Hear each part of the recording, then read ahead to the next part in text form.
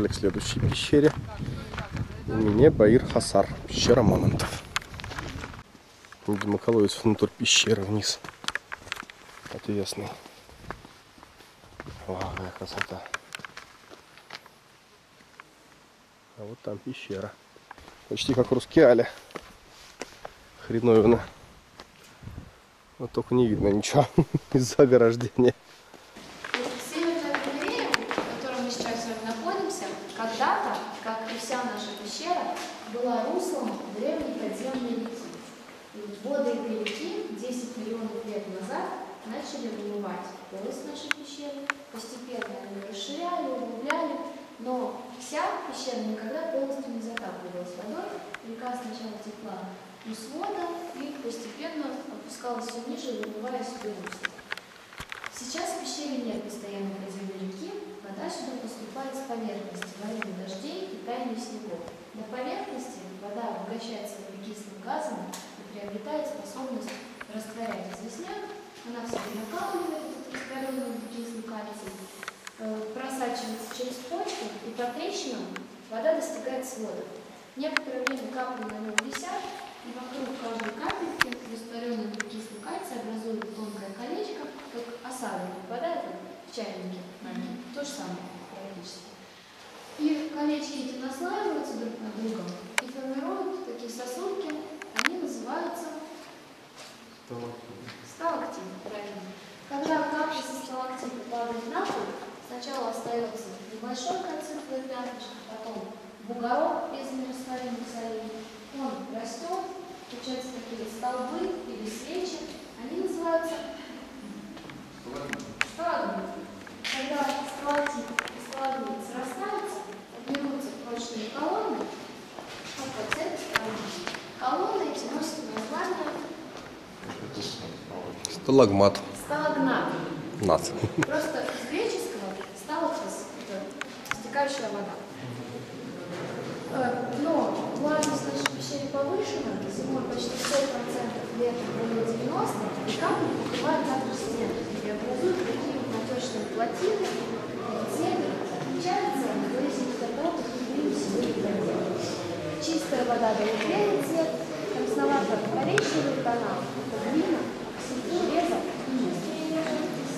вот зеленые участки водоросли, нас когда провели освещение, так называемая ламповая флора. Помимо натеков, наша пещера известна останками палеофауны. Мы по левой стороне сейчас увидим скелет мамонта. Фотографировать его лучше со средней площадки лестницы. Сейчас группа пройдет. Мы туда- Он настоящий, но лежал не там. Покажу. А свет выключается? На ночь всегда. А что такое черное? Вот черное. Пыль и порода. Ага.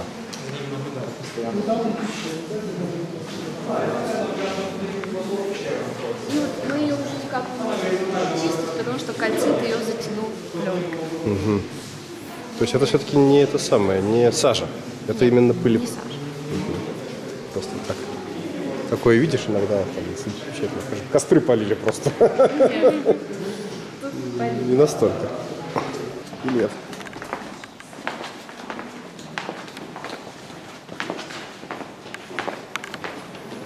Мамонта. Знакомьтесь, это наш мамонтенок Коля. Его зовут так в честь палеонтолога, который нашел останки. Да. Вот. Мамонтенок этот жил 40 тысяч лет назад, в последний ледниковый период.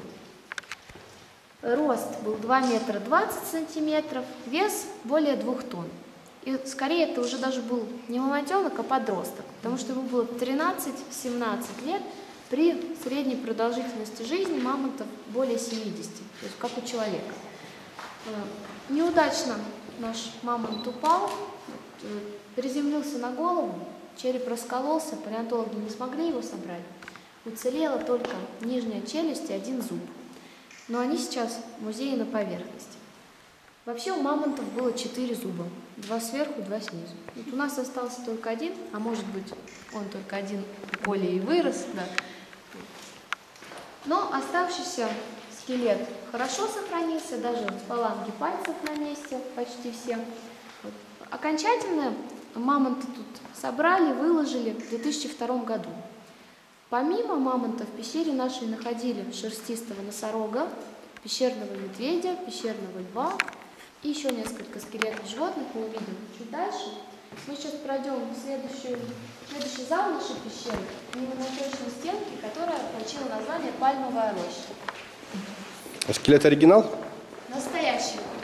Да, настоящий. Мы поэтому Точно. и не стали докладывать голову, потому что показываем правду. Понятно. Подсветка у нас тоже такая э, обычного цвета, а не цветная. Понятно.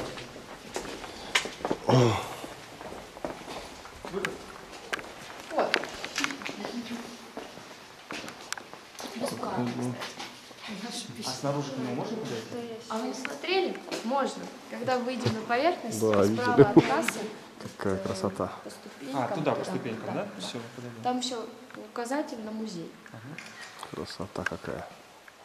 И что, никто сверху не смотрел? Смотрели мы. Хорошо. Мы снизу пришли, А, Красиво. понятно. по тропе. Понятно. Пешеходники. Северная галерея нас привела в величественный главный зал высотой 42 метра, а длина его 120 метров. И в этом зале у нас расположен единственный природный вход в пещеру – провальный колодец. Колодец этот образовался 60 тысяч лет назад во время сильного землетрясения, когда от свода откололся этот массивный блок. Он своими очертаниями повторяет контуры. Вот. Глубина колодца 17 метров, диаметр 7. И с этим колодцем связано название нашей пещеры. В переводе с тюркского «Эмин» – дуб, «Баир» – склон горы, «Хасар» – колодец. То есть колодец на склоне горы под дубом или в дубовой роще. Название пещере дали пастухи, которые выпасали скот на Четвердаге на высокогорных летних пастбищах, яйлах.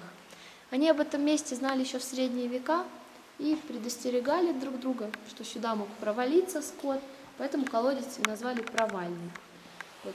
Мы на площадке ниже увидим еще несколько скелетов животных, которые попали в нашу пещеру через этот колодец. Да, да, Какая красота. Какие животные.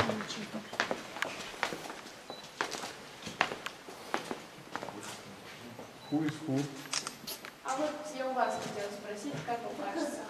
Коза. А это? Большая коза. А это? Угадали оленя, уже хорошо. Вот колодец наш служил ловушкой для животных под снежными карнизами. Его не было заметно, животные наступали, проваливались в пещеру, уже не могли отсюда выбраться, и тут погибали. Ну, они тут кубарем катились по всей этой, по всему главному залу, и, Ногу? Ногу сломал и все. мгм, и не могли выбраться. Вот Что скажешь? эти животные, современники нашего мамонтенка, они тоже жили в эпоху последнего оледенения. Маленький скелет – это сайгак, относится под семейство антилоп. Мы сегодня в Крыму не увидим этих животных, потому что вымерли они. Но вот дальние родственники сайгаков живут в степях Азии. Прямо по центру не буйвол, но тоже на Б, европейский бизон. Тоже мы не увидим их в Крыму, но североамериканский подвид живет на американском континенте. В общем, благородных оленей можно увидеть в лесах горного Крыма и сегодня, в заповеднике. Но этот олень чуть-чуть отличался от тех, которые живут сейчас. Он даже скорее был похож на северного оленя, потому что климат назад в Крыму был такой, как сейчас в тундре и арктических пустынях. Кто к нам присоединился, я вам расскажу, э, что название нашей пещеры переводится как колодец на склоне горы под дубом. Запомнили? Вот. Ну, чтобы вы хотя бы знали, куда пришли. Вот.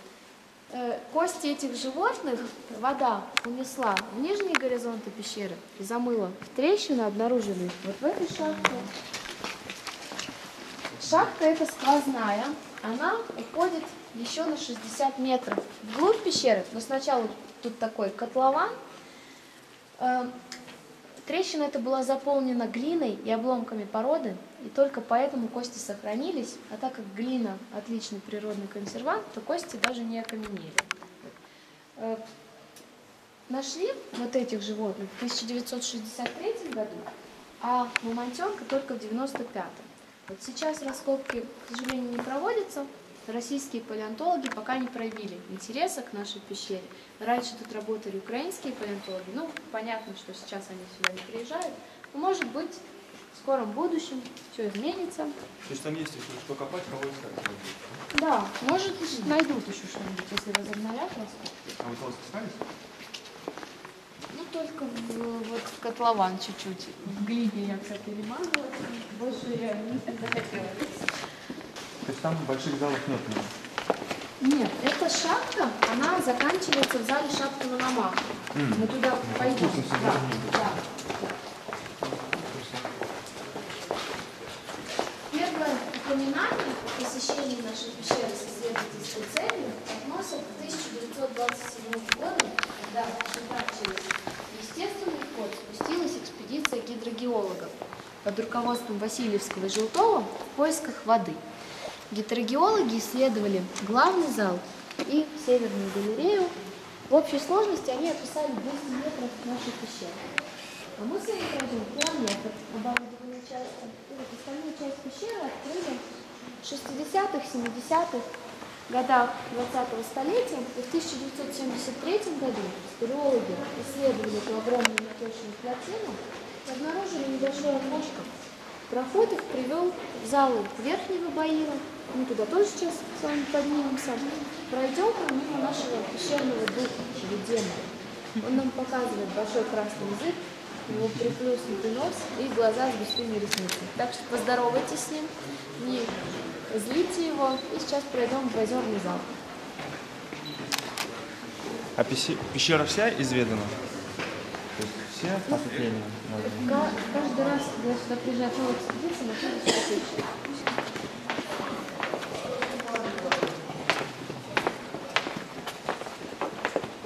Ух ты. Еще себе такая. Ого.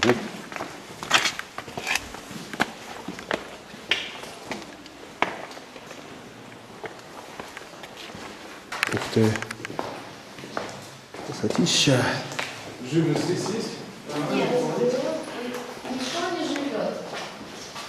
Никто совсем? Ну совсем. Телефон, например. Нет, телефоны никаких не нашли? Здесь. Айфоны? Айфоны? Специальный сачок вылавливаете. Ну, кстати, 6S работает после озера. Серьезно? И Samsung с водонепроницаемыми экранами тоже работают. А вот фотоаппаратом, к сожалению, уже конец, поэтому держите крепче. Глубина этого подземного озера сейчас 4 метра.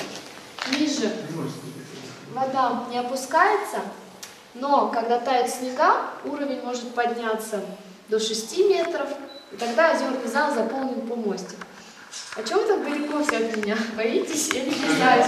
Подходите сюда. Скажите, пожалуйста, то есть вот сейчас э, настолько чистый, что мы 4 метра видим? Да, да. Она просто пока просачивается сюда вся эта вода, через известняк проходит, фильтруется. То есть здесь 4 метра глубины? Да. А кто туда нырял? А другие инструкторы. Сачок. Сачок нырял. Ну, кстати, с очков не всегда достают. Но мы честные, мы всегда, если телефон работает, связываемся с владельцами, говорим, приезжайте, забирайте. А вон че- очки, да? А, ну, Ага. это такое, да. А вот то вот визитка таксиста. А Кто спускает? Что? Лампочки кто спускает? Кстати, можно хорошую рекламу сделать. Бросил какую-нибудь рекламу, никто не достанет. Квартира в Алуште. Точно, сдаешься жилье.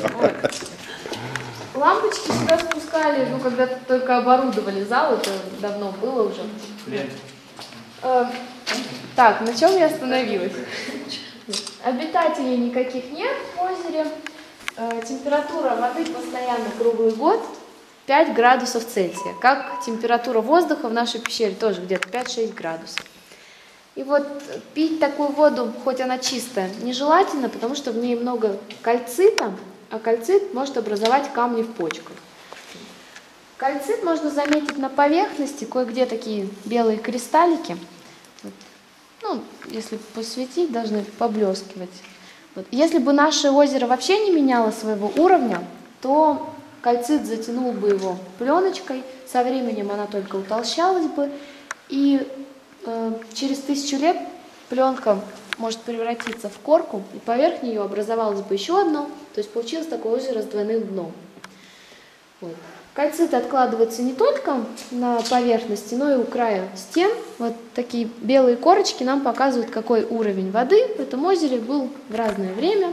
А чуть повыше на стене растут королиты. Это пещерные цветы. Они образуются, когда водяной пар из воздуха оседает на стенках, и в этом водяном паре тоже есть растворенный углекислый кальций. Вот он и образует эти королиты. Поближе мы их с вами можем рассмотреть в нише прохода. Он был наполовину затоплен водой, поэтому там посередине тоже такая кальцитовая корка идет. И этот проход нас приведет в зал каменных идолов, и слишком высоким вначале нужно будет пригнуться. Копали. Ух ты.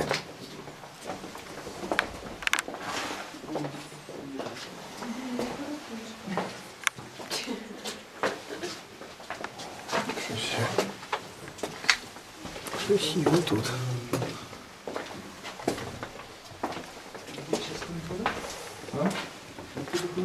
Посмотрел?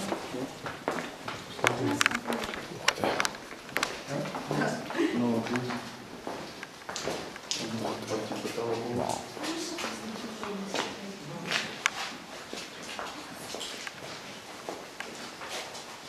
Все? Больше к нам никого не присоединяют, надеюсь. С балкона перед нами открывается часть зала идолов. И этот зал свое название получил из-за того, что на дне его выросли сталагмиты в виде языческих изваяний. А вот тут нас встречают стражи зала, сталагмиты в виде шахтных фигур короля и королевы. Они образовывались, когда из трещины обильно стекала вода, и в зависимости от того, как быстро она стекала, один сантиметр таких натеков мог образовываться от 100 до 1000 лет. То есть вот древние достаточно и королева. вот этого. В этой части натечной стенки можно заметить разницу, где вода стекала сплошным потоком, а где отдельными струйками. Струйки эти образовали трубочки, они называются органные. Ну, чуть похожи на органчики. Вот чуть правее над небольшим органчиком темное отверстие, и там продолжение нашей пещеры. Маленький зал, он не оборудован, темный, и в таких местах могут прятаться летучие мыши. К нам в пещеру залетают три вида летучих мышей. Подколонос, широкоушка и ушан.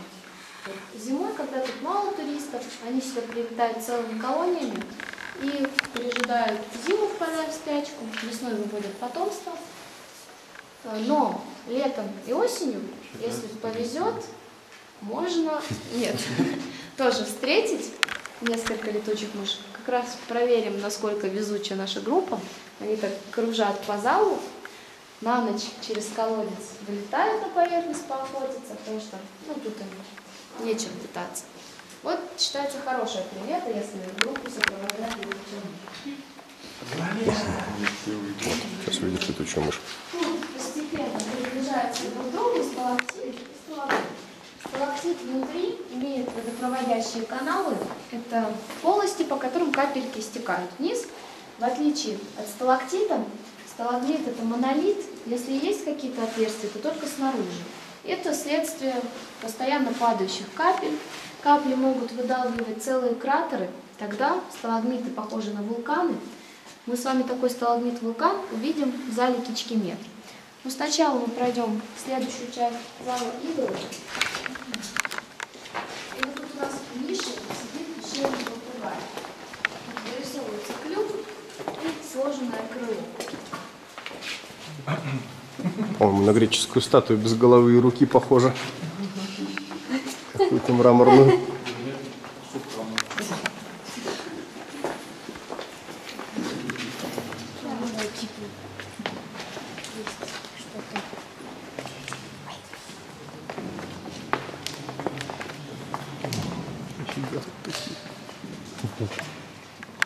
Нифига себе, да, высота такая? Чувствуется масштаб. Ух ты, вот эти тоже короли-то.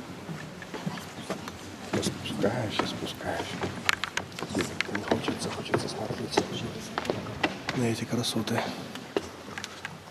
Ух ты, ух, какие, о.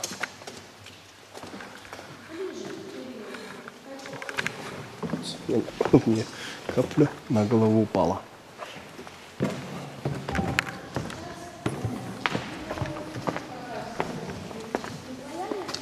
Но по- помимо них можно увидеть сказочных героев, например, гномы выстроились в ряд у подножия высокого сталагмита, якобы Белоснежка, но что-то по красоте не сильно. Ну, так уже назвали ее. Вообще все зависит от вашей фантазии, воображения. Тут каждому может показаться что-то свое. Многие видят в натечной плотине висячие сады или очертания какого-то города. Вот. Э, Под сводом такая колонна с органными трубочками, она у нас называется Пизанская башня. Ну, есть что-то такое. И вот эта натечная плотина отделяет зал идолов от следующего зала.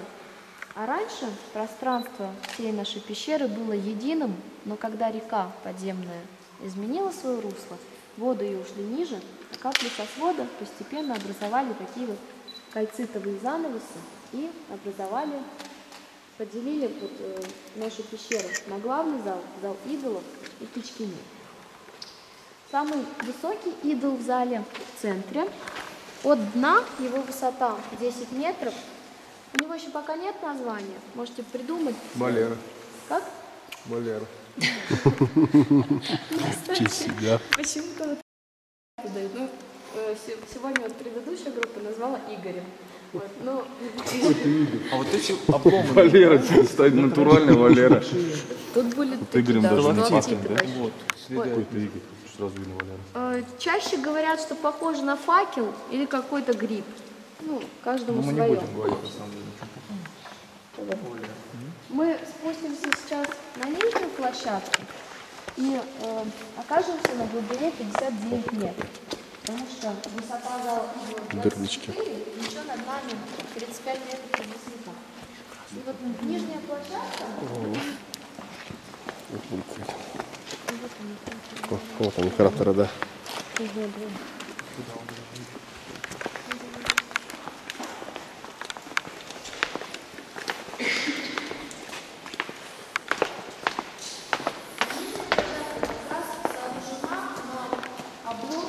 древнего обвала. И вот раньше в этой части долины тоже были идолы, но, может быть, 60 тысяч лет назад, во время того сильного землетрясения, сталактиты дали трещины, откололись, э, глыбы упали и повалили наших идолов. Формы у сталактитов практически идеально ровные. Это объясняется их строением. У сталактитов, как у сосулек, кристаллическая решетка. Ну, если когда-нибудь откалывали сосульку, то видели ровный скол. То же самое здесь. И на сколах заметны сезонные кольца. Считается, что колечко толщиной в одну сотую миллиметра – это один год формирования сталактита. Поверх сколов наших древних сталактитов уже кое-где выросли новые, но мы можем быть с вами спокойны, на нас они не упадут. Последнее сильное землетрясение в Крыму было в 1927 году. Сила его была 7 баллов. И на склоне горы Южный Демирджи произошел крупный обвал, а те гидрогеологи, которые были в главном зале в это время, не почувствовали ни единого толчка, и когда вышли на поверхность, с удивлением обнаружили, что землетрясение вообще было. То есть в нашей пещере можно пережидать некоторые землетрясения. Мы с вами сейчас поднимемся по дорожке, которая нависает. Потом пониже мы вернемся, вам нужно будет спуститься ниже, пройти между мушейком выше вверх по стене, остановиться перед темным тоннелем возле многослойного тока. Я буду на обратном пути замыкать, поэтому такая просьба старайтесь заходить. Вечерняя экскурсия, все вышли. Два человека осталось в Кишкемете, свет пещере потушили, и они не смогли выйти. Они тут блуждали, пока за ними не пришли. Ну, так что не надо теряться, лучше ходить сразу группой. Вот панорама зала угла завершает натяжная плотина, небольшая, прям углу, на свой коричневый цвет она получила название шоколад. Э, раньше, в периоде, след- следующий, это тоже верно. Следующая часть нашей пещеры поднимались по этой шоколадке, и там за колонной тоннель тянется еще на 20 метров. Все, значит, все хорошо будет. Ну, не случае мы выйдем на поверхность.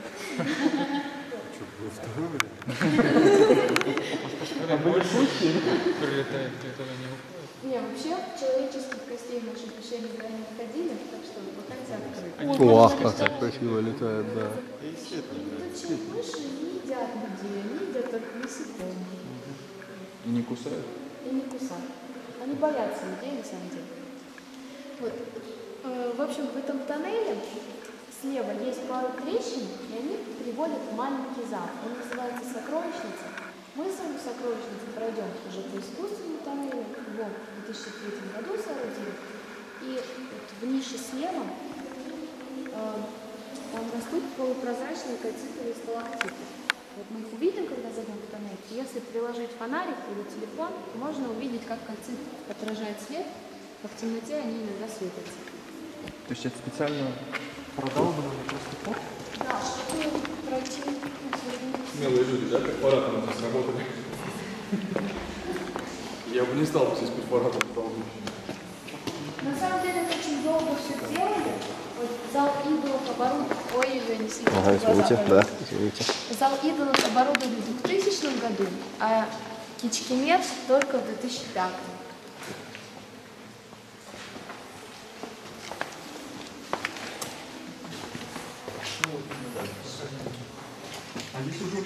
Ох, какая красота. Возврат. У нас Да, нам надо ее пропустить, Стоп, поэтому... обратно. Задний ход. Пожалуйста, на тот островок перед шоколадкой. Нам надо пропустить группу. А поднимающийся дорогу? Они, они нам не посигналили. Да, надо делать биби, это точно.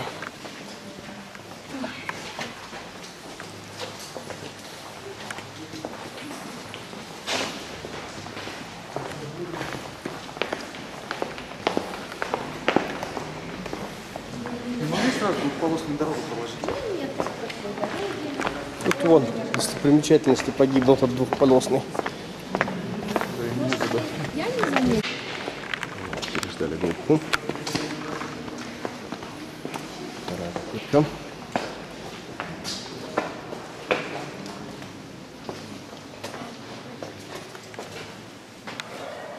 Красота какая. Зеленая.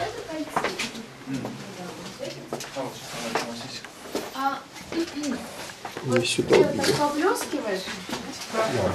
Это мраморовидный известняк.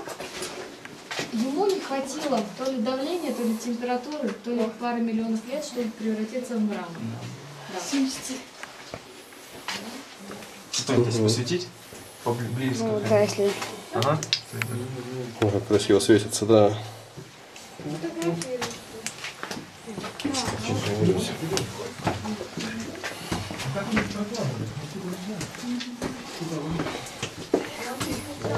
Ух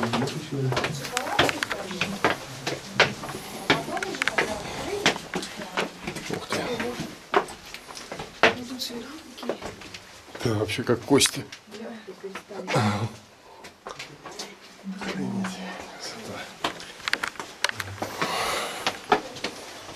Да, вот реально кости, фаланги пальцев или чего-то такое, суставы. Суставы, кстати. Да.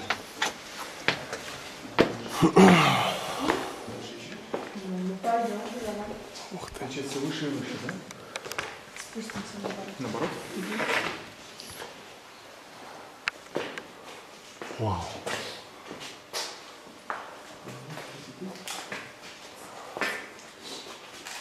Все?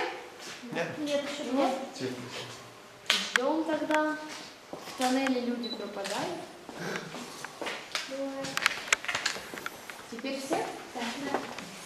Этот зал называется сокровищница, но настоящих сокровищ тут никогда не находили. Зал этот назвали из того, что тут большое количество натеков, которые для спелеолога подобны сокровищам. И вот этот зал находится внутри натечной плотины, которую мы видели из зала идолов, и он долгое время был труднодоступным. Вот до сооружения искусственных проходов спелеологи сюда попадали через три трещины.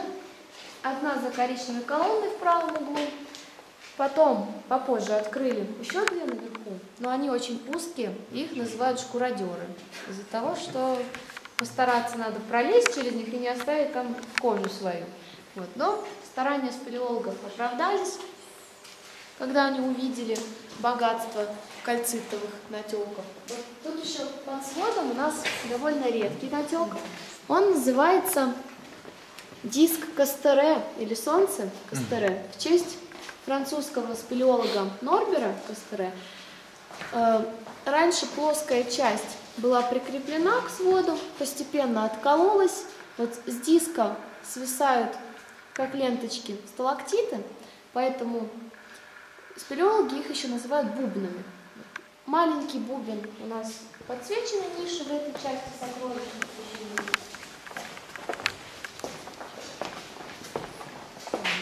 А Кастере побольше и похожий на туфельку мы увидим слева под лестницей, когда спустимся в следующий зал.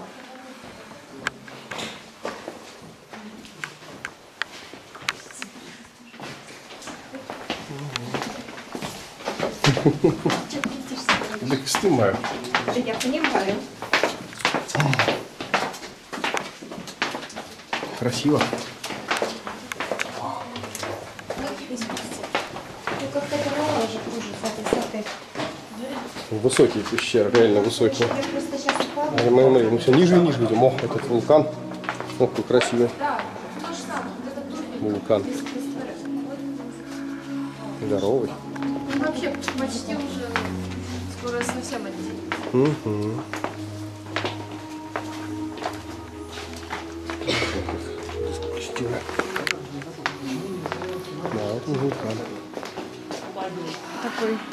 Капающий что слишком долго. Пока не установишь, чтобы группа не ждала. Вот если брать индивидуальный экскурсию, можно делаешь.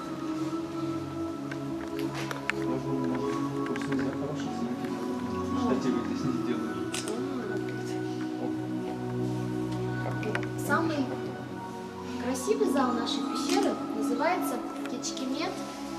Он назван в честь города побратима Симферополя, венгерского города Кечкемет.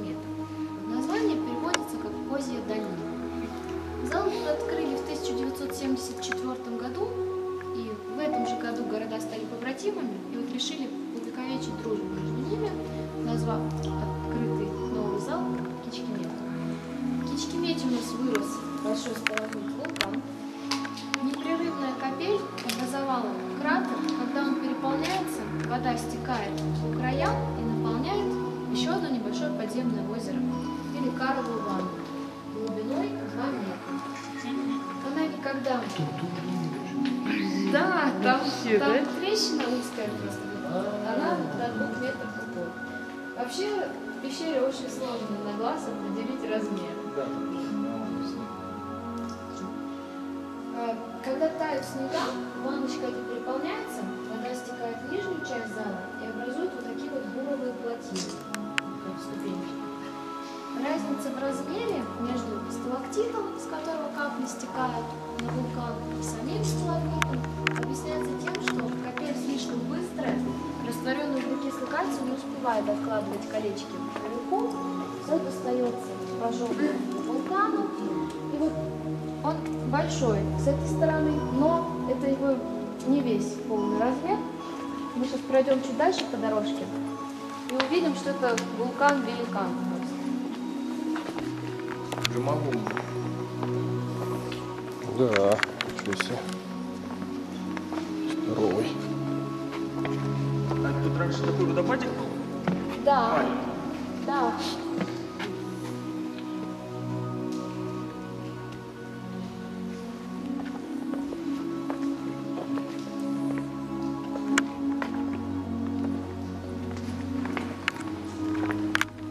А в сезон дождей оттуда не льется водичка? Водопад не. А сверху нет. не превращается.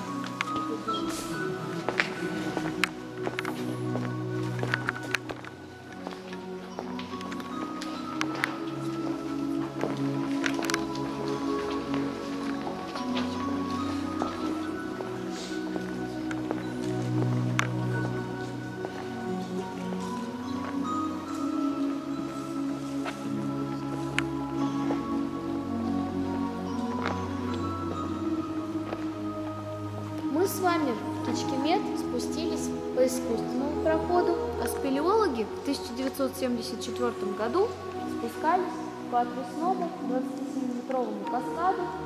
Вот наверху каскада Темный лаз – это окончание того тоннеля, который над шоколадкой в зале Игл, вот мы с вами видели. И вот спускались спелеологи по веревкам, освещали отдельные участки зала. Когда посветили на натек справа от каскада, он им напомнил голову мамонта. Так и назвали этот натек, только часть хобота у мамонта еще не доросла. Э, Сначала спелеологи думали, что зал Кичкемет даже больше, чем главный. Но потом измерили, оказалось, длина его короче на 20 метров. Но в чем Кичкемет выигрывает у главного, так это в красоте и акустике. В этом зале самая лучшая акустика в нашей пещере, поэтому тут мы можем слышать музыку, а во многих пещерах мира даже проводят концерты в таких залах. Вот в Мраморной, недалеко от нас, раньше в обвальном зале проводился слет бардовской песни. Э, А, еще каскад у нас заканчивается колодцем, и там 16 метров э, в глубину еще уходит колодец. На дне его была глиняная пробка. Спелеологи раскопали ее, и оказалось, что пещера наша имеет продолжение. Там еще 2 километра необорудованных ходов, и максимальная глубина пещеры 125 метров. Но нижние этажи закрыты для посещения. Там находится минералогический музей-заповедник. У нас есть еще один вход в этот музей. Я вам его потом покажу. Зайдем. В центре зала пятиметровый сталагмит. С этой стороны он нам напоминает храм с часовней или какой-то небольшой замок. Кто-то тут видит даму в пышном платье. Вот она от нас отвернута. Но лучший вид откроется с верхней площадки. Мы туда пройдем чуть позже, а пока заглянем в дальнюю часть зала. Вот Эти глыбы, которые, ну, осколки, глыбами это сложно назвать, это следствие древнего обвала тоже, но по меркам пещеры этот обвал был совсем недавно. Вот часть свода откололась две с половиной тысячи лет назад. И самую, самые большие глыбы отсюда использовали, чтобы поднять дорожки, то есть они закатаны. Раз уж, раз, извините, я уже заговариваюсь. Если посмотреть на свод, можно заметить розовые оттенки. Это что в воде были примеси марганца. Если в тех залах рыжеватые тона это железо и медь, то здесь оксид марганца красит свод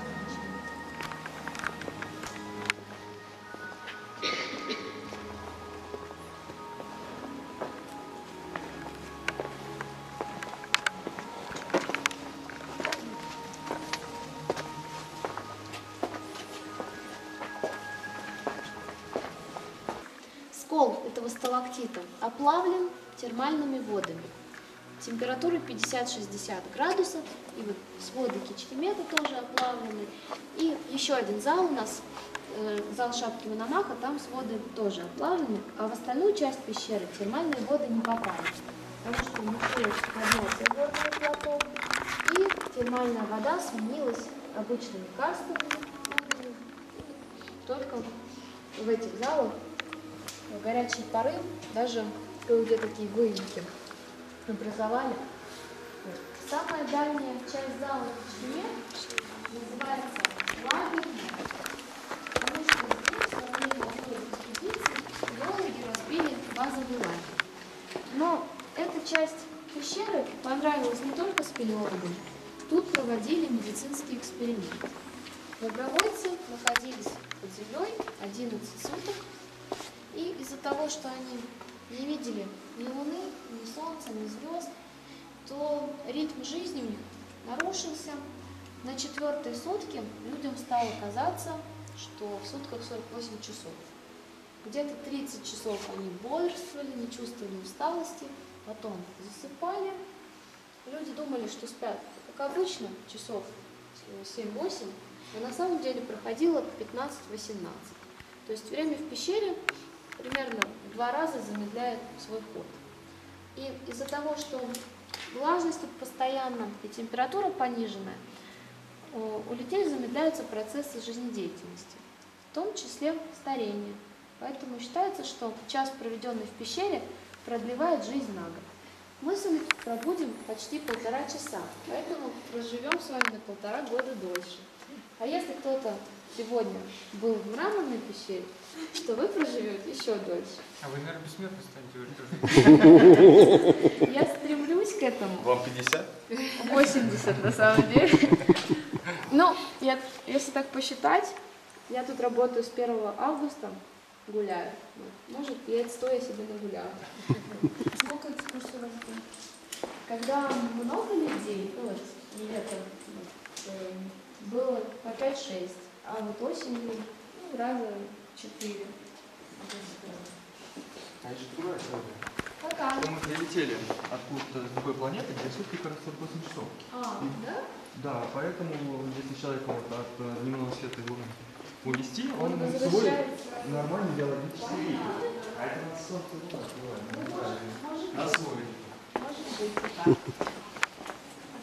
Не знаю, откуда ты, я в Волгограде родился. Не все, но в большинстве. Просто где вот такие вот королиты, вот, это значит, что водяной пар осел. А где-то вода просто могла их вот так окатать, когда они только формировались. Вот, то есть капельки стекали по краям и тоже гладко, гладко их сделали. Мы сейчас поднимемся на верхнюю площадку. И Я хочу, чтобы вы мне сказали, что на комнате из половины, вот с той стороны. Вы уверены, что хотите это слышать? Да, Валера. Говорят, хороший фонарик. Говорит, благодаря нашему фонарику многое видно. Ну, естественно. Фонарик мощный. Конечно, хороший. Мощный денег стоит.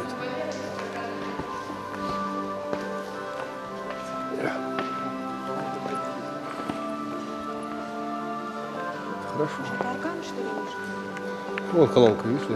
Нет, я имею в виду орган, нет? Ну вот, вот тебе ответствие. Это колонка играет. Какая музыка, на чем Да. исполнена, не знаю. Может быть. На орган очень похоже. Красота-то какая, господи. Вообще обалдеть.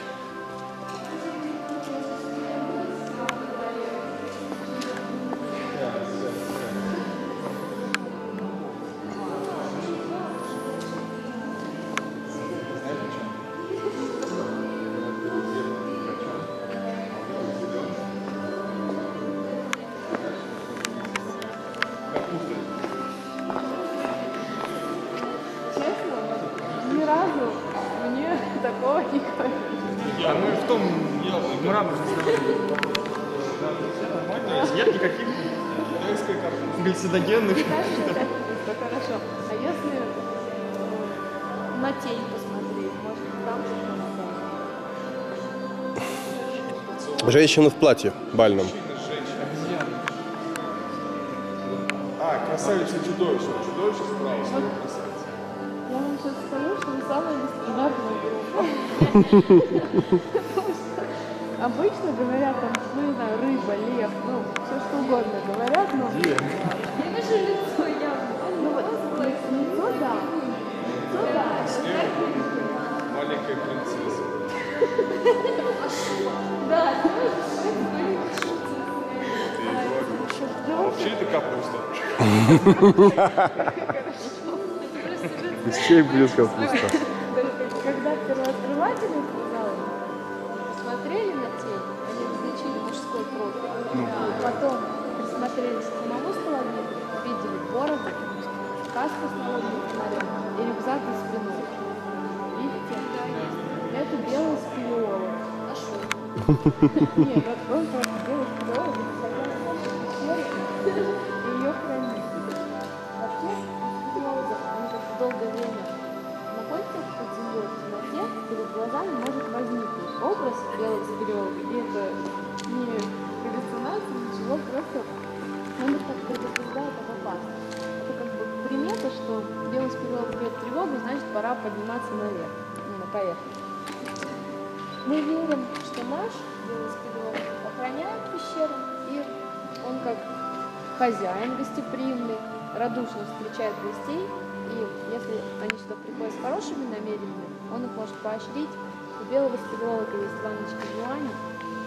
Если хотите, можете бросить монетку, загадать желание. Если желание маленькое, бросайте в маленькую ванночку. Если побольше, в большую. А до открытия этого зала кто был хозяином пещеры? До открытия этого зала у нас была хозяйка. Я вам потом ее покажу. На своде кое-где можно заметить темные пятна. Они называются леопардовые или тигровые. Это тоже место прикрепления летучих мышей. И почему-то кичкемет нашим летучим мышкам нравится больше, чем вся остальная пещера. И тут они чаще прикрепляются к своду. Ну что, если все, кто хотел, подадали желание? Нет, Ладно, жду. Да, ничего себе тут леопардовых пятен. Все в летучих мышах. И мы с вами вернемся в сокровищницу. Скажете, когда будете готовы идти дальше. А то у нас тут группы толпятся потихоньку. Идемте. Красота. Ну что, вперед? Вот.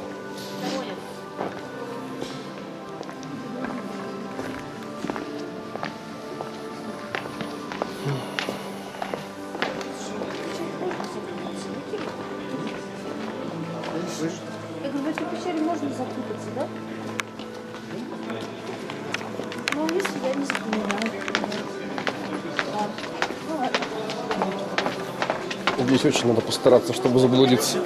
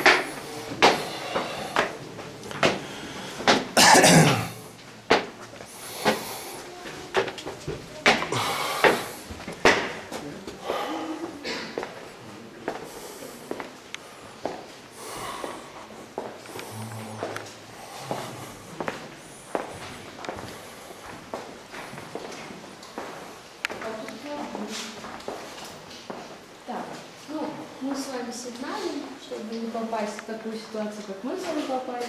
Если там стоит группа, она вас пропустит, спускайтесь по залу идолов до конца, к тому темному тоннелю, и возле тортика остановитесь. Да. Ну. Вот. Ух ты. Ух ты, елки.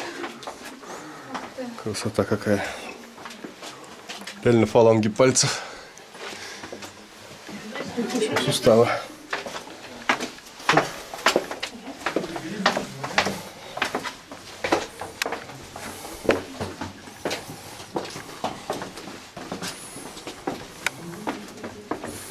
Да, это светящиеся эти.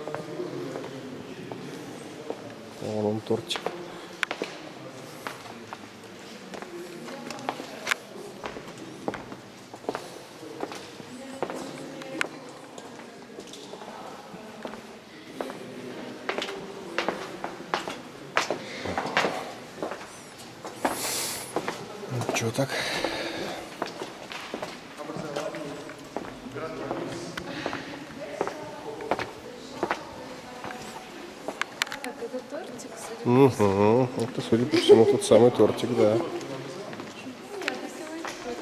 Вот он тортик. Всем подряд. Погуляли мы. Погуляли мы по пещере. Мне понравилось. Я решила тут, ос- ой, извините, остаться и поработать.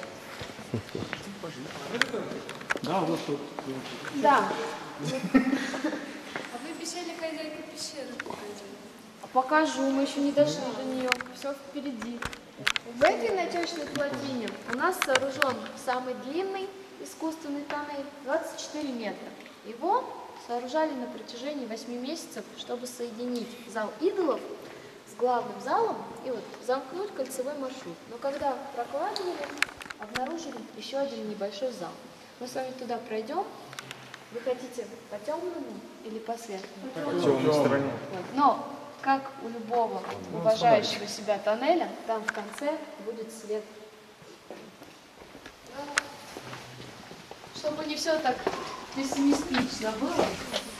А как тут по росту я головой сталактиты не собью? А тут их нет. А то тут естественное произойдет. А вот это. А где светлый был? А, и свет можно. Он свет в конце туннеля. Проходите в зал, смотрите внизу, ближе к а туда мы пойдем. Пойдем, Ух ты. А потом, да? Ага, сначала загляните в этот зал. Ой, красота. Ух ты. Вау. Ишь ты как. Был пол. Когда-то его проломили. Было раньше, но высоко. Вот. Зал этот назван в честь Виктора Николаевича Дублянского. Это наш крымский спелеолог, корстовед, исследователь, профессор геологии. Он проводил топосъемку нашей пещеры, и вот зал назвали в его честь.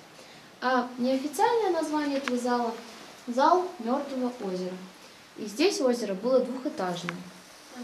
Вот. На стене линии нам показывают уровень, то есть зал был почти под свод заполнен водой.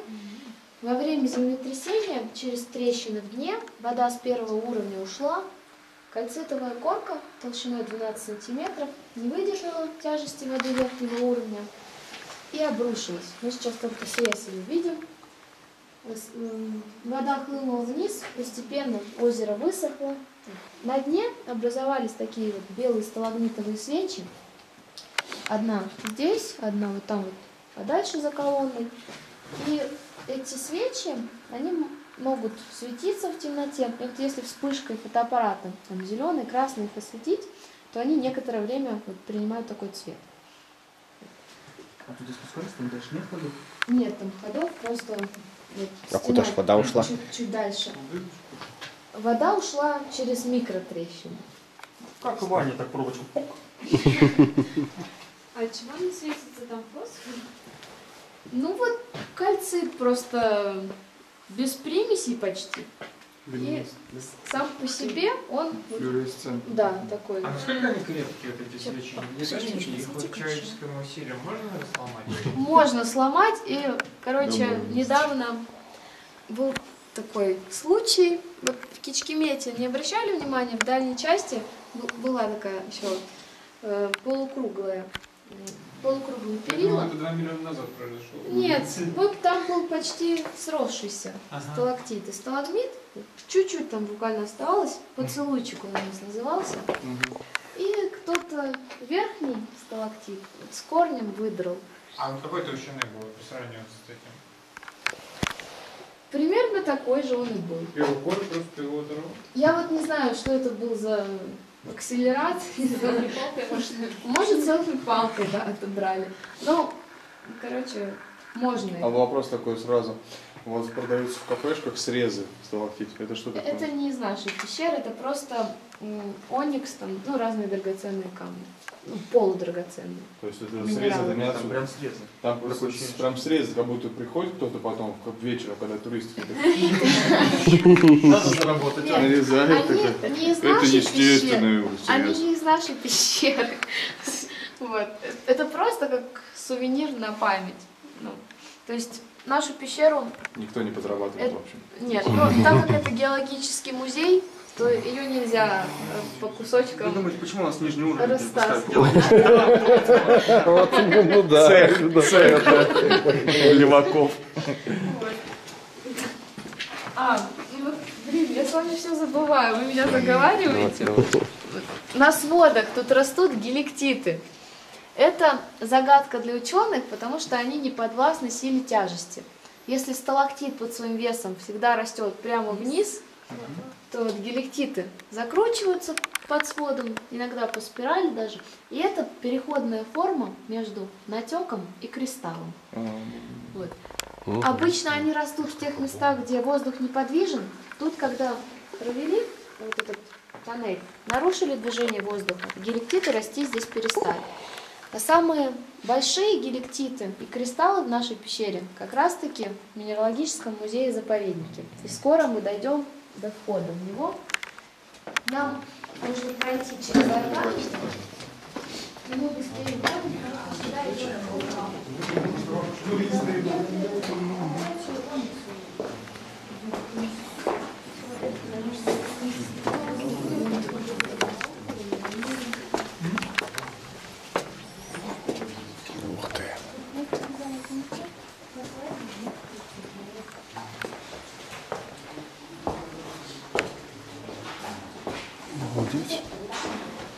Чего себе. Ух ты. Какая красотища. Все? Никто там с другой группой остался? Органный зал свое название получил из-за того, что стены усыпаны органными трубочками. И трубочки эти, они не только внешне напоминают органы, но и по звучанию. Каждая трубка пустая внутри, если по ней постучать, издает разный звук. Толстые трубочки звучат глухо, а чем тоньше трубочка, тем звук выше и звонче. Еще один органчик у нас спрятался в нише с правой стороны. И в этом месте галерея органного зала перетекает в главную.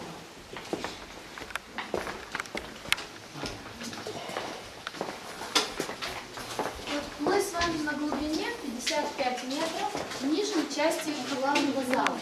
Она была заполнена водой. Внизу органчиком видны эти кальцитовые корочки уровня воды. Здесь они четко прорисовываются. Под водой наросли королики тоже. И вот мы спустимся с вами в нижнюю часть нашей пещеры. Так, там я свет не буду выключать. Там вниз. Там внизу что-то еще.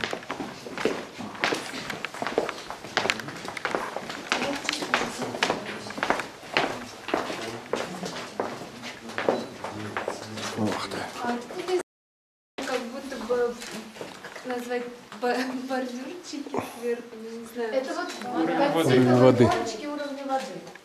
Сейчас мы под водой стоим. Да, мы стоим под водой. Где-то 100 тысяч лет назад, наверное, мы бы с вами запрыгнули. Да, раз. Она Когда сталагнаты растут слишком близко друг к другу или срастаются, спелеологи это называют сталагнатовым лесом.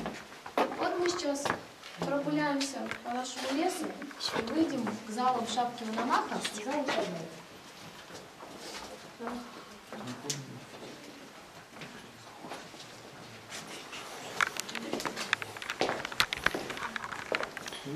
Помни, противник подслушивает. Это надо помнить всегда, я согласен. Ух ты, какая красота. Блин, офигеть, конечно, такие штуки. Да тут везде можно ползать, там какие-то ходы, проходы. Ну, Туда можно уйти. Далеко, там шкурник дальше.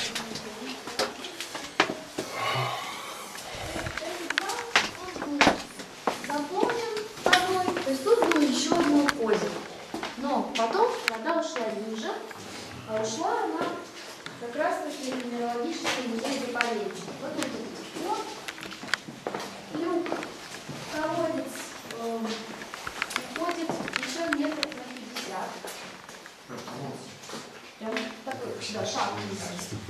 Вот, э, спелеологи сюда во время экспедиции спускаются по веревкам. Последний раз вход в музей-заповедник открывали в 2014 году. К нам приезжала чешская экспедиция. И до этого, когда они приезжали, они снимали фильм про Нижний Баир. Когда руководитель чешской экспедиции э, Йозеф Вагнер вышел из Нижнего Баира, он сказал, что это одна из самых красивых пещер Европы. Так ему понравились арагонитовые кристаллы, опаловые листья, цветы, перья, геликтиты огромных размеров и люстры. Люстры – это когда сталактиты усыпаны кристаллами и занимают почти всю часть свода, то есть как такие хр- хрустальные люстры. Вот. Но все эти кристаллы очень чувствительны к изменениям микроклимата, и поэтому открыли спелеологи эту красоту, сняли на видео и решили законсервировать. И как раз там еще 2 километра необорудованных ходов и где-то 15 залов. Но мы с вами туда А как фильм называется, чтобы посмотреть, если... Фильм э, на Ютубе, если ввести Мине Баир Хасар, Мгм. часть фильма, по-моему, есть в открытом доступе, а полный фильм есть э, у нас в продаже, и там еще помимо этой пещеры про мраморную фильм. Ну, Я вас умоляю, если он у вас есть в продаже, он уже давно доступен в интернете. Ну, конечно. Сто процентов должен быть на рутрекере. Найдем. А как называется-то он? Нашли время. Да, название пещеры, понятно. Мгм, Название, да, найти. Название что-то связано с вечностью, я не помню. Понятно. Понятно. Купите тогда, увидите. Нет, нет, Да не, не, не настолько. по вашему желанию, как никто не заставляет. Наше путешествие... Найти ларек да узнать. А вы не знаете, если, Да. если кому пещеры, куда вы это экскурсию, где есть какие-то драгоценные камни, там что-нибудь, Э, Так, нет. Нет, вряд ли. А вот еще вулканчик. Да. Вот в этом зале на обломках сталактитов, которые похожи на руины какого-то античного храма, вырос еще один сталагмит вулкан, но он меньше по размеру, чем Кичкимети, поэтому мы его ласково называем вулканчик. И зал называется зал вулканчика. Кратер этого вулкана еще не переполнялся настолько, чтобы образовать озеро, как у того вулкана, но он продолжает расти, и, может быть, когда-то тут тоже образуется маленькое озерцо. За поворотом узкой галереи, галереи перед нами откроется шапка Мономаха.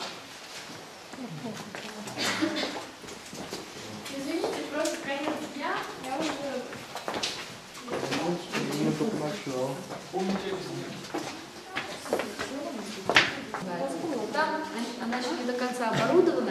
И раньше были экстрим-туры, там, где оборудованная часть пещеры заканчивалась.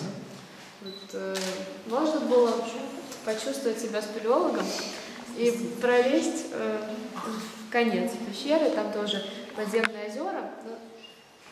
Там только веревка у стены прикреплена. Ты так по ней идешь и в темноте. То есть скоро будет открыта еще одна пещера оборудованная? ну, она пока не работает. Она уже раньше работала, сейчас там нет инструкторов, поэтому туда пока не попасть. Вот. Шапка Ванамака – это полутораметровый грибообразный натек, который состоит из лунного молока. Лунное молоко – это еще одна форма, которая принимает кальцит, такая известковая кашица, масса. Вот обычно молоко стекает по сводам и краям сталагнатов, но иногда может принять и горизонтальное положение.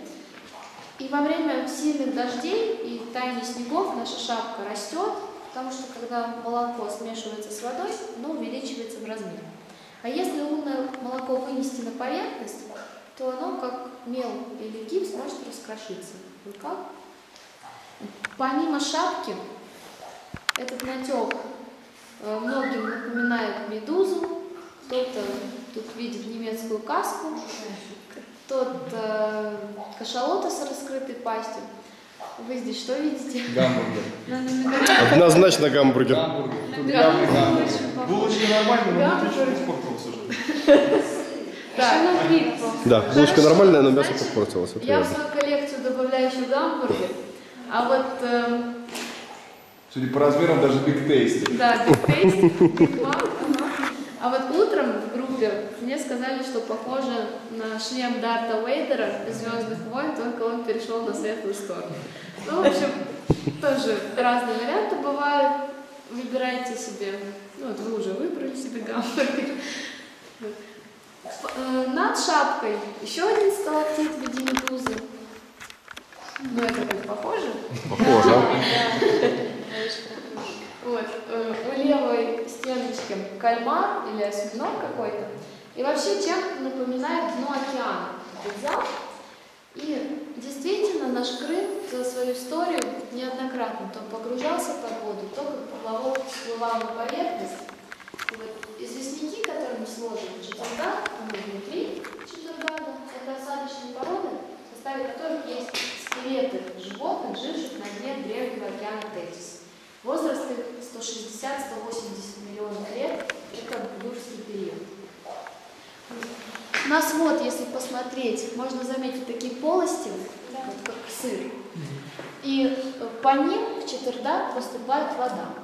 Четырдак считается главной водонапорной башней Крыма.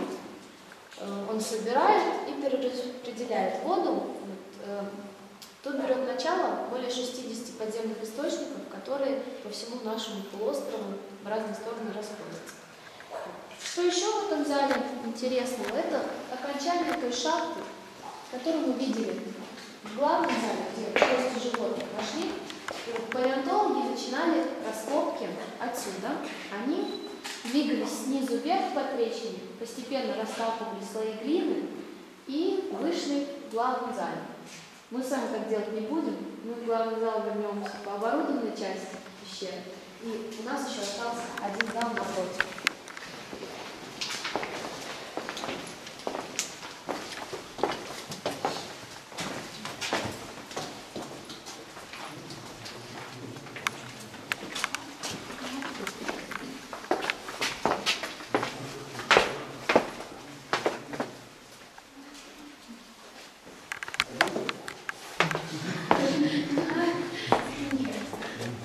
Хотя э, он тоже каскад, он наверху соединяется с главным залом.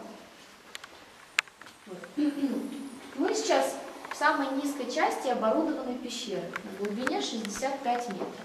И раньше в этом зале стекал водопад, ну, как раньше, лет сто тысяч назад. Вот. И, да, позавчера. Сейчас остался только каменный каскад, узкое место русла нашей подземной реки, ее каньон. И по левому склону каньона можно заметить небольшую женскую фигурку. Девушка в платье с распущенными волосами, у нее так чуть согнутые ноги, она как будто сидит у края обрыва. Видите? Нет. Маленькая совсем. Вон она, вот там вот. Сидит такая, и за ней еще колонна. А, это не так. Дайте мне ваш сильный фонарик, или чем вы там светили.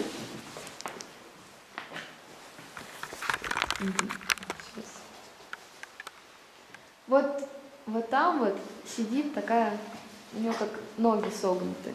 Видите? За белой колонной. Вон белая колонна. Вон она сидит, что не видно. Белая колонна чуть правее, а за ней еще одна колонна. Все. Все, поняли, да? Можно было мира, что там вообще идет?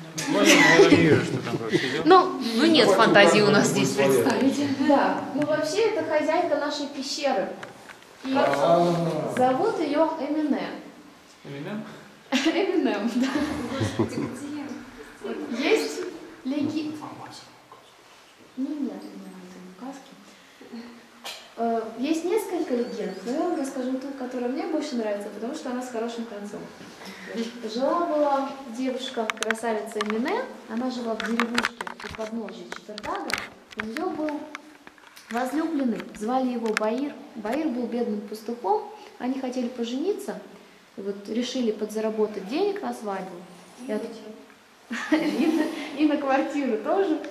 Вот. И пошли к хану просить работу. А хан, когда увидел Эмине, он сам решил жениться на ней, сделать ее еще одной наложницей в своем гареме. И поэтому сказал, Баир, т- ты бедный пастух, ты недостоин э, руки Эмине, а если хочешь доказать обратное, ты должен пройти испытание. И э, отправил хан Баира избавиться от стада вепрей, которые развелись в лесу у Четырдага. И вот Баир не побоялся, вскочил на своего коня, отправился на охоту. Ему удалось убить вожака вепрей. И вот э, разъяренное стадо бросилось за ним в погоню, и он решил заманить их на гору. Когда скакал по плато, конь его с легкостью перепрыгнул через наш колодец в главном зале, а стадо вепрей, по легенде, упало вниз. То есть испытание Баир вы, ну, прошел, но было уже темно, он решил переночевать на плато. Вот ночью какой-то шум его разбудил, Баир проснулся, но не заметил колодца, оступился и упал. Конь вернулся в деревню один, Именно сразу поняла, что с Баиром что-то случилось, отправилась на поиски. Конь ее привел к колодцу. Именно оказалась такой героиней. Она спустилась в колодец, перевязала Баиру раны и даже сумела его вытащить на поверхность. Вот. Легенда заканчивается хэппи-эндом. Эмине и Баир поженились. Хан признал, что испытание выполнено и даже оплатил свадьбу. А что она здесь делает? А тут она сидит, просто отдыхает. Девчачья версия легенды, да? Вот. А среди пастухов колодец наш стал называться колодец Эмине и Баира. Эмине, Баир, Хасар. Ну вот еще одно трактование названия. Кстати, вы помните первое название нашей пещеры? Ну, как переводится? Под дубом дыра. Под дубом. Что под дубом? Колодец. Колодец. Колодец на склоне горы под дубом. Все, отлично. Мы с вами сейчас скажем до свидания нашей хозяйке. Нашей А вот такие натеки, вот как вена наверху, это вот что? Наших что? А вот такие натеки, как вена наверху, вот видно.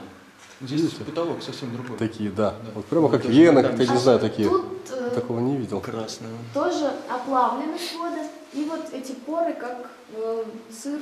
Вот по поры это поры, а вот видите, такие вот именно как натеки, я не знаю, как веточки, что ли, растут. А, это лунное молоко тоже. Вот это лунное молоко так текло и Да, застыло, да? да? да.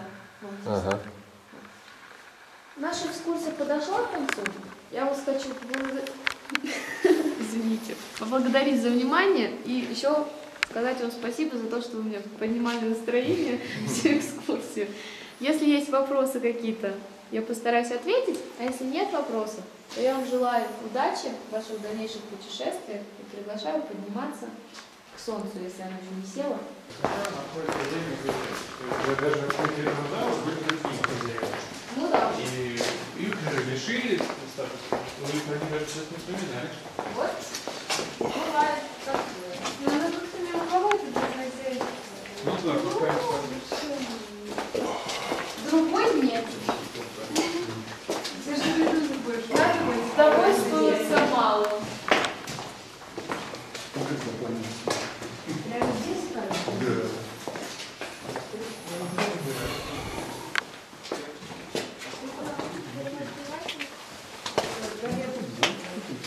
Ничего себе, прямо так. Ну там, да, там еще проход один. Там далеко туда, да. Да, надо ли срубить. Это в натечную плотину, он опирает. Вот с этой стороны есть проход. Чуть дальше. Я Так, кто пролезет? Не, давайте не экспериментируем. Кто все испытывает на себе? Ну вообще я по жизни, ну сегодня мне не хочется.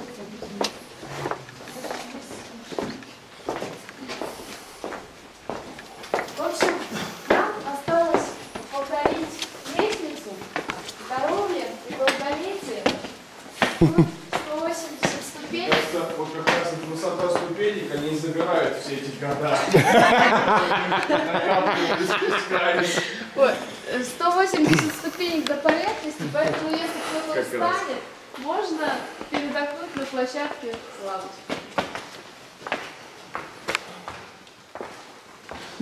Извините.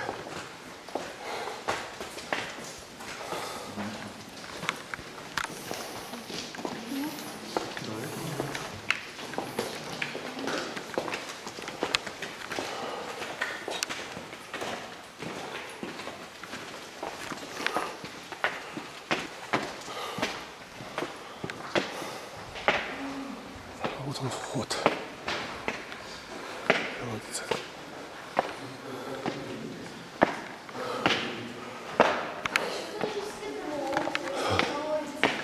Она открыта должна быть. Через колодец. Чего, как в тех фильмах ужасов. Если что, я не буду.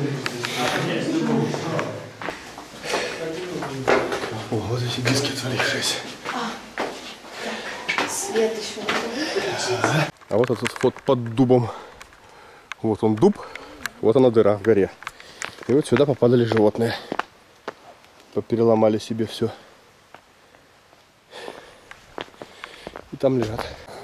Вот такой вот кемпинг. Содрали все-таки 100 рублей за человека. То есть это не 100 рублей за палатку, а 100 рублей за человека. Ну, в принципе, везде в других местах заповедник. Сложно тут. Можно по рогам получить. Вот, готовим еду. Вышел месяц у нас красивый со звездой. Вот это плато Четырдак. Такая вот красота. Такой вот закат, такой вот шикарный вид открывается снова. А вот мы, вот наш лагерь.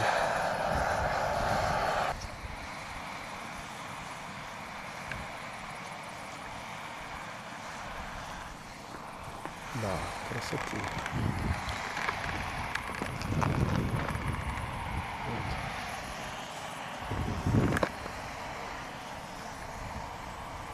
Чердак Крыма.